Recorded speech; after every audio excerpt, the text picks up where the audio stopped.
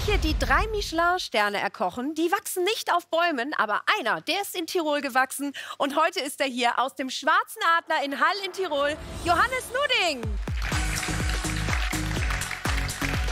Hallo. Welcome back, mein Lieber. so, es ist angerichtet für dich. Fühlst du dich optisch schon in England? Teils, teils, ja. Teils, teils. Sehr schön, Nana, sehr schön, sehr schön. Womit möchtest du denn gerne starten? Ich mache das in der richtigen Reihenfolge. Breakfast, Pub, Afternoon Tea und dann auch in Palast. Alles klar. Na, dann geht's los mit dem English Breakfast. Das kann heute nicht der schlechteste werden, auf gar keinen Fall. Was ist denn zu erkennen für dich? Pochiertes Ei, Spinat, kleiner Chip oder Crouton.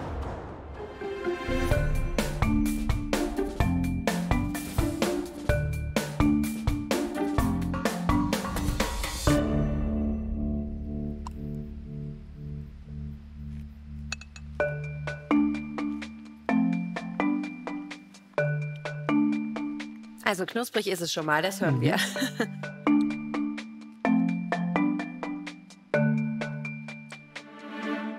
Johannes hatte so ein Pokerface, man hat ihm nichts angesehen. Möchtest du was zu dem Löffel sagen? Nein, Nein. Oh Gott. Du kannst doch nicht nichts sagen. Du machst es spannend. Okay. Da braucht es einfach ein bisschen Zeit und wenn man da jetzt nur reinplappert, nachher springt der Kopf und das Gehirn irgendwo anders hin und dann ist man immer bei der Sache. Deswegen aus Respekt ähm, äh, Stille. Mhm. Mittags im Pub.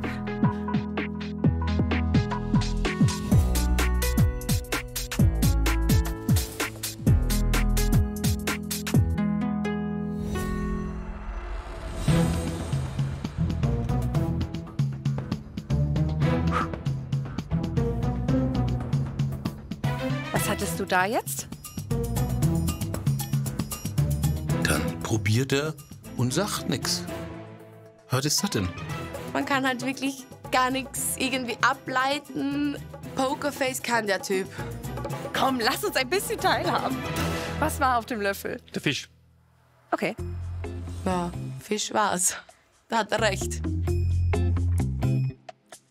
Okay. Wir haben einen neuen Mr. Pokerface. Na, alles gut. Mittags im Pub, äh, also der, Fisch äh, im, im Bierbutter, äh, ganz klassisch frittiert, also super leicht marinierte Gurken unten drunter, very British, äh, klassisch, aber, aber positiv klassisch. Positiv klassisch ist doch erstmal, ist doch erstmal gut. Bravo bis jetzt mal, auf jeden Fall, ja. Aber weiter geht's. Weiter geht's.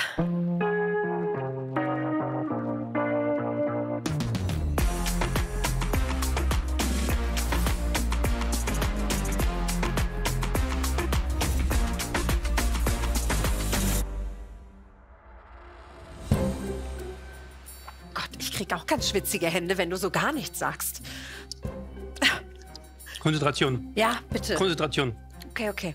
Man, man kriegt einen Herzinfarkt. Also es ist einfach Wahnsinn. Besonders wenn dann halt auch nichts gesagt wird. Die Luft war zum Schneiden fett für uns alle. Ne? Also es war natürlich, alle haben darauf gewartet, ein Feedback zu kriegen. Da hat jemand sehr viel Risiko genommen, würde ich sagen. Das wäre jetzt nicht so die erste Idee, die ich gehabt hätte. Also, also, also positiv überrascht. Ist ja schon mal gut. Oder auch nicht. Für die Spannung. Na, alles, alles, alles gut, alles positiv. Okay. Man hat ihm angemerkt, dass er sehr analytisch ist, sehr präzise ist, sehr genau ist und dass er jedes Wort, was er ausspricht, sehr genau überlegt.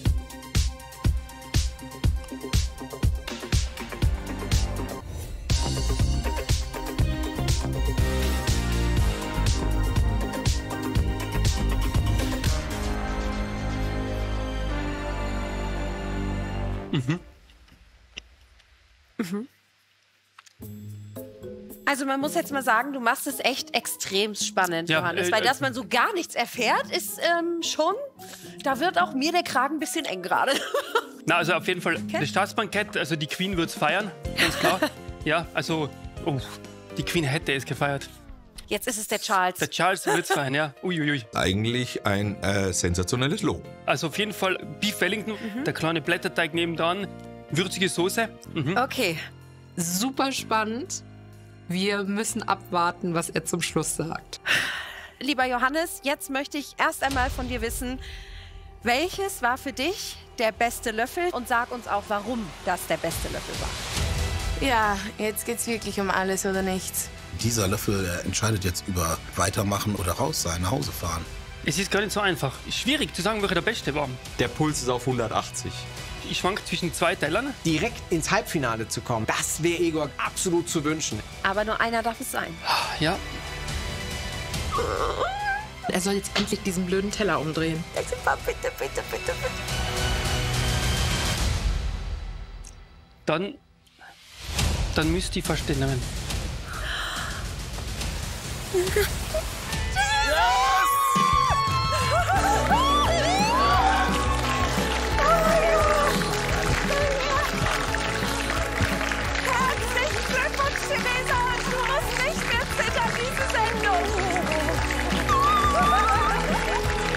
Ja! Yes! Ich bin einfach im Halbfinale. Bravo. Bravo, bravo, bravo. Jetzt. Vielen, vielen Dank. So, Krass. Jetzt äh, einmal diesen Moment der Freude. Aber bei uns liegen Freude und Trauer leider sehr nah. Denn jetzt frage ich dich als nächstes, Johannes, nach dem Löffel, der auf deinem Platz 4 landet. Und das bedeutet gleichzeitig, dieses Team verliert leider auch direkt einen Kandidaten oder eine Kandidatin. Da geht der Puls richtig hoch. Also es ist wie so ein Horrorfilm. Das ist so spannend. Man hätte wirklich eine Stecknadel fallen hören können. Ich hatte absolut kein gutes Gefühl in dem Moment. Zeig uns bitte, welcher Löffel landet bei dir auf Platz 4. Es sind wirklich Nuancen. Also, aber wenn ich einen weniger gern habe als einen anderen, schlecht ist er deswegen nicht. Aber dann müsste ich mit dem English Breakfast gehen. Und das kommt leider aus Team Grün. Okay. Verstehe ich nicht. Verstehe ich einfach nicht. Oh, meine Lieben. Jan, ich kann nur sagen, ich habe das gefeiert. Gina, du hast großartig gekocht. Von dir war der Löffel nicht. Äh, und ich muss jetzt entscheiden, für wen die Reise weitergeht. Scheiße. Gina hat den Löffel nicht gekocht, also warum sollte sie gehen? Auf der anderen Seite habe ich mich ganz klar vor den Löffel von Jan gestellt, weil der gut war. Mit so einem Löffel bei der Test gehen zu müssen, ist auch nicht richtig. Wenn meine Reise jetzt zu Ende geht, wäre das traurig, aber ich sehe es sportlich. Ich gönn's jedem hier. Ich ähm, bin gespannt, äh, wie sich Alex entscheidet, aber eigentlich bin ich mir ziemlich sicher, dass ich es weiß. Ich. Ich kann. Gina, es tut mir so leid.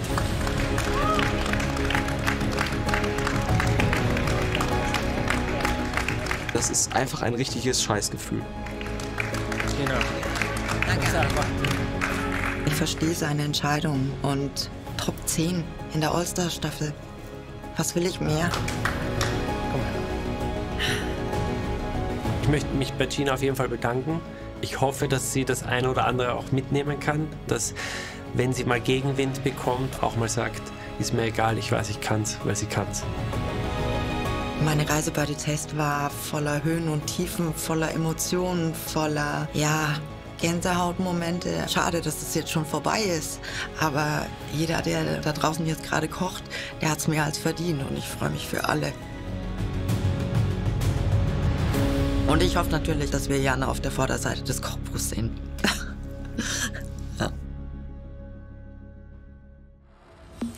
Willkommen, ihr Lieben, zum Solo-Kochen. Wir bleiben mit The Taste noch weiterhin in Großbritannien.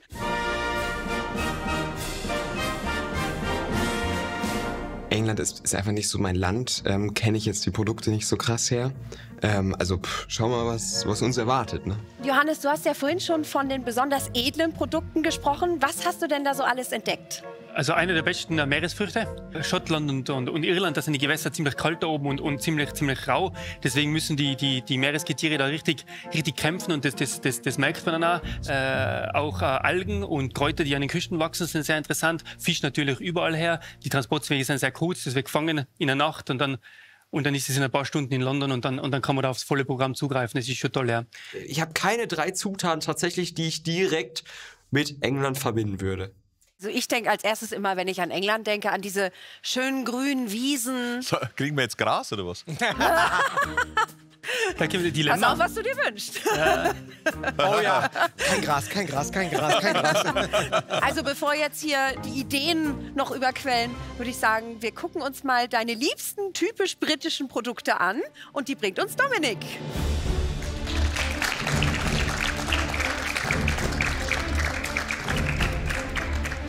Ah, der Taschenkrebs, ja, ja, ja, ja. So, also ein bisschen was ist aus der Ferne schon zu erkennen gewesen, nämlich der Taschenkrebs, ganz richtig. Dann, oh, was verziehst du denn jetzt dein Gesicht so, Tim? Das da in der Mitte, das brauche ich nicht. Hast du es erkannt, was es ist? Also von hier sieht es aus wie Salikorn. Salikon wäre Passpierre oder, Ja. oder Meeresspargel, ist aber nicht. Das ist ein, ein, ein äh, Sea Fennel auf Englisch Ein Meerfenchel. oder eben ein Meerfennel, ja. Mhm. Okay, ich brauche doch eine Brille. Ich liebe Fenchel und dann Meerfenchel habe ich mir gedacht, okay, das könnte salzig, fenchelig sein. Kann man richtig, richtig frischen Tobilöffel machen. Und da kam sofort die Ideen, Jakobsmuschel, Meer, alles. Also, ich glaube, auf das werde ich heute gehen. Dann hast du uns den Taschenkrebs mitgebracht. Ja. Warum ausgerechnet den? Da gibt es einfach viele. Und, und es wird manchmal über, übersehen, weil es extrem viel Arbeit ist. Taschenkrebs noch nie gemacht, noch nie mitgearbeitet. Zwischendurch mal, klar, irgendwie äh, Nordsee, Ostsee, zwischen den Steinen laufen gesehen. Wenn man den aufbricht und die, die kleinen Fasern und die kleinen Knochenreste, äh, die bleiben drin, äh, dann ist es natürlich unangenehm. Das muss man schon sehr, sehr, sehr durchsuchen dann auch, ja. Bisschen Mayonnaise noch mit dazu. Der hat von, von sich aus so viel Geschmack. Also, das, ist, das wird der Rettungsanker für alle sein. Und dann äh, typisch britisch natürlich auch das Lamm. Von den schönen grünen Wiesen, von denen ich sprach, lieber Alexander. Ganz genau.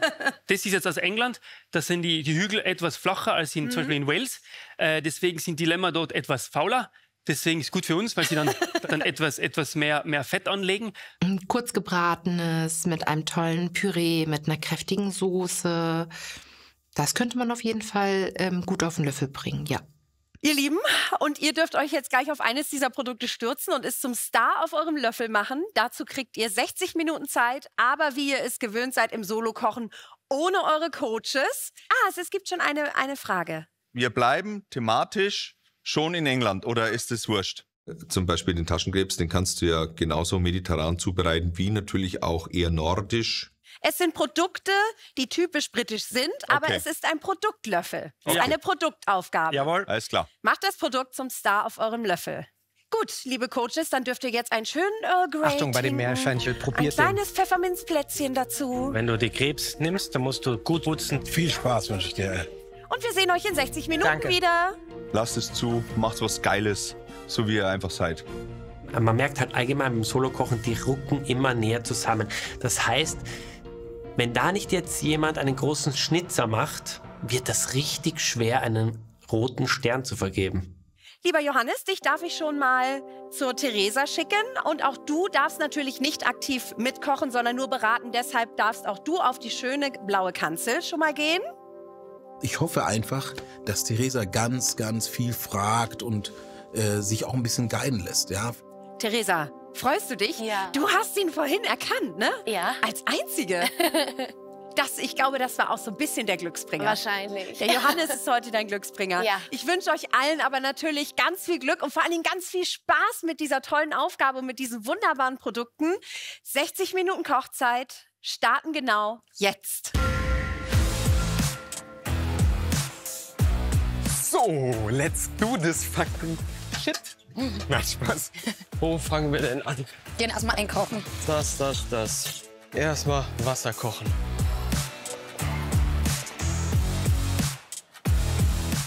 Und ich würde fast sagen, man fühlt sich hier angekommen und ich hoffe, mein Gefühl äh, enttäuscht sich nicht. Enttäuscht mich nicht, dass ich heute halt auch natürlich mit meiner Glückssträhne einfach weitermache. Ich entscheide mich für den Taschenkrebs und dazu gibt es dann auch nochmal den Meerfenchel, der einfach nochmal begleitend mit seinen schönen jodigen Aromen einfach nochmal mitspielen darf. Auch geil, dass wir damit kochen dürfen, ne? Da dachte ich mir schon, das, das macht schon Spaß. Was glaubt ihr denn, welches Produkt jetzt gleich am häufigsten auf euren Löffeln zu finden wird? Taschenkrebs in jede Form von Gemüsekannelone oder sonstige Ravioli ähnlich nachgebaut. Kalt schön mit Mayonnaise, das glaube ich. Das wünschst du dir, glaube ich, auch. Taschenkrebs ist halt ein irrsinnig ähm, dankbares Produkt, glaube ich, für einen Löffel. Du kannst halt sehr exakt auf den Punkt garen. Und das freut sich über jedes Aroma, über Feinheit, über Kräuter, über Süße, über Säure, über, über animierende Schärfe. Fett ne? auch. Ja, also das ist ein ganz, ganz großartiges Produkt. Ich habe mir schon was überlegt. Und zwar würde ich gerne einen Taschenkrebs machen. Du Jawohl. musst mir aber ein bisschen helfen mit dem Auseinandernehmen. Äh, ausbrechen ist in dem Fall einfach. Wir brauchen eigentlich nur eine große Schere, weil für unseren Löffel reicht es ja. Du musst nicht das ganze Ding machen. Dann musst du nur die, äh, die, die Schere leicht aufknacken. Die würde ich nicht so brutal machen, weil dann hast du die ganzen äh, Splitter drin. Und dann dann wir das ausfieseln mit den Fingern und dann durch, mit deinen kleinen Fingern durch, durchgehen, damit, wenn du was spürst, dass das nachher nicht irgendwie, das, Ja. das will dann aussortieren. Das ist dann so, das ist fast so wie ist, Fingernägel, so ungefähr schmeckt das dann. Okay. Also das ist nicht, nicht, Nicht sehr so gut. geil. Ja. Also ich war wirklich sehr glücklich, dass er hinter mir steht und dass ich mit ihm kochen darf. Schöne Aussicht. Es haben viele Taschenkrebs genommen, oder kommt mir das nur vor? Wie viele Taschenkrebse sind denn da unterwegs? Taschenkrebs? Zu meiner Überraschung haben sich ja viele an den Taschenkrebs getraut. Wieso sind die denn schwarz? Ey, nee, gar kein Bock. Es hilft ja auch nicht, da müssen wir durch. Okay. Es wird alles gut. Du kriegst das hin. Also wie mache ich das Ding jetzt? In der, in der Theorie wäre das so. Und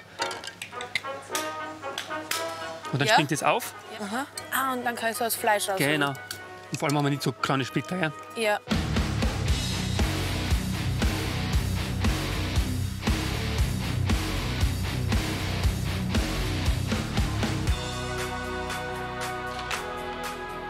Ich habe den bestmöglichst zerteilt.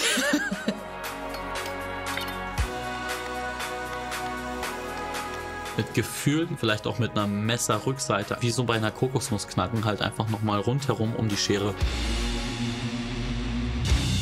Im Solo-Kochen mache ich einmal einen Taschenkrebssalat, den ich so ein bisschen mit Wasabi abschmecke. Dazu gibt es eine Avocado-Creme. Als Grundbasis einmal eine Taschenkrebs-Beurre Blanc und so ein Knusper aus der Kartoffel.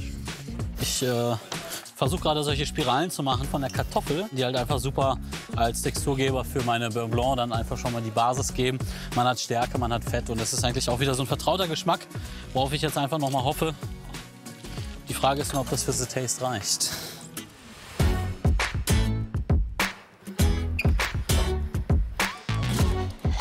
Also ich habe mir so ein bisschen gewünscht, dass es ein bisschen Meeresfrüchte gibt. Und deswegen bin ich auch beim Taschenkrebs gelandet. Ich mache im Solo-Kochen einen Taschenkrebssalat mit einem Krustentier Safransoße, Bacon, Mandeln und mariniertem Fenchel. Also ich mache jetzt erstmal einen Krustentier vor, so eine Basissoße. Und danach kühlen wir das Ganze runter und spinden es später ab mit einer schönen Mayo, sodass es ein schöner kalter Löffel wird, wo auch immer noch der Taschenkrebs der Star ist. Ich ähm, habe mich eigentlich relativ schnell von den Zutaten Taschenkrebs und ähm, von diesem Meeresfenchel verabschiedet von dem Gedanken. Bei mir gibt es heute einen Klassiker. Lammfilet mit Kräuterkruste und äh, Böhnchen und Kartoffelchen dazu, eine richtig geile Soße. Also was soll ich mich da mit irgendwelchen Zutaten ähm, rumquälen, die ich nicht kenne? Ich habe mich für das Lamm entschieden, weil Lamm, Lamm ein Produkt ist, was ich halt zu Hause auch sehr oft benutze. Ist das nicht toll, dass wir hier noch zu viert stehen? Wir sind echt, was soll ich sagen, blessed. Halleluja. Im Solo-Kochen koche ich als allererstes einen Krustentiersud aus den Karkassen von dem Krebs. Dann wird es einen kalten Salat geben aus dem Taschenkrebsfleisch mit Limettensäste, ähm, Limettenabriebsaft und Creme fraiche. Dann gibt es einen Apfel-Fenchel-Salat, ein Tomatenkuli, ein Gelee-Plättchen aus dem Krustentierfond und das Ganze mit einer getrockneten Cherrytomate. Ich glaube, das hatten, man, hatten wir in zehn Staffeln The Taste nicht. So ein heftiges Niveau. Also, das muss man auch einfach mal sagen. Alle sind nicht nur extrem vorbereitet, sondern alle sind so ehrgeizig und motiviert, weil wir jetzt einfach schon so weit gekommen sind. Man muss nicht nur sehr viel können und jedes Mal abliefern, man muss dem Druck standhalten und man muss einfach immer wieder aufs Neue kreativ sein, sich neu messen und ja, einfach wach sein.